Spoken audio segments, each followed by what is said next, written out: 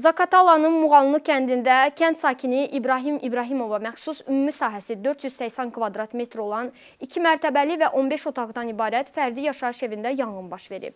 Yanğının yanğın söndürməsi üçün əraziyə Fövqəladə Hallar Nazirliyinin Zakatala rayon Dövlət Yanğından Mühafizə hissəsinin 2 yanğın söndürən maşını və şəxsi heyəti cəlb edilib.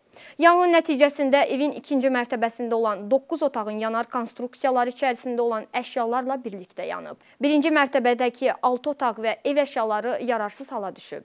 Yaxınlıqdakı digər tikililər yanğından mühafizə olunub. Yanğın zamanı xəsarət alan olmayıb. Faktla bağlı araşdırma aparılır.